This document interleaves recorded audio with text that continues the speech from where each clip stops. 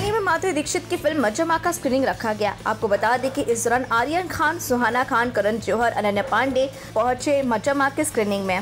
इस दौरान सभी बेहद स्टाइलिश अंदाज में नज़र आई हैं और सभी ने जमकर पेपराजी को पोज भी दिया है। तो वही बॉलीवुड एक्ट्रेस आलिया भट्ट को मुंबई एयरपोर्ट पे कर दिया गया स्पॉट आपको बता दें की इस दौरान व्हाइट कलर के आउटफिट में आलिया भट्ट मास्क पहने नज़र आई है और इस दौरान उन्हें जमकर पेपराजी को पोज भी दे दिया है। तो वही दोस्तों, आपको बता दें की बॉलीवुड के सबसे एनर्जेटिक एक्टर रणवीर सिंह पहुँचे जैक एंड जोन्स के स्टोर लॉन्च पर। आपको बता दें कि जो कि मुंबई में हुआ है, इस दौरान रणवीर सिंह अपने स्टाइलिश अंदाज में नज़र आए हैं। वह उनका धमाकेदार खतरनाक एंट्री हर किसी का दिल ही जीत लिया है।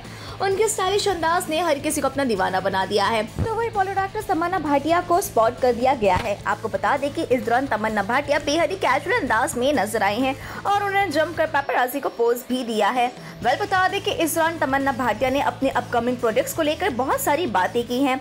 आई थिंक सिनेमा जितना एंटरटेनमेंट के बारे में आई थिंक कभी कभार ऐसे कुछ सीन्स होते हैं जो लोगों को छू जाते हैं और uh, अगर वो अपने खुद की ज़िंदगी में उसे यूज़ करते हैं तो उनको उसका उपयोग होता है and I feel like this was actually a safety thing that Babli के फ़िल्म में I mean I guess there was this character thing where she is trying to save this person उसको जा उसको कॉन्शियस रख. के and I think I was I was really amaze कि एक film का इस किस्म का असर हो सकता है.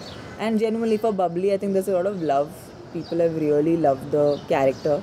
And I am so lucky. इतना ही नहीं बल्कि उन्होंने प्रभास की फ़िल्म आदि पुरुष के टीजर को लेकर भी दे दिया है अपना रिएक्शन अब क्या कहा तमन्ना भाटिया ने? आइए देखते इस वीडियो में। मैंने सॉरी मेरा तो मतलब मैं इतना काम में डूबी हुई हूँ। आनंद पंडित के ऑफ़िस के बाहर कर दिया गया है वरुण धवन को स्पॉट आपको बता दें कि इस दौरान वरुण धवन बेहद ही कैशुअल अंदाज में पेपराजी को पोज देते हुए आई हैं नज़र। बॉलीवुड एक्ट्रेस नीतू सिंह को बैड्रा में क्लिनिक के बाहर कर दिया गया है स्पॉट आपको बता दें कि इस दौरान नीतू सिंह बेहद ही कैशुअल अंदाज में नज़र आई है।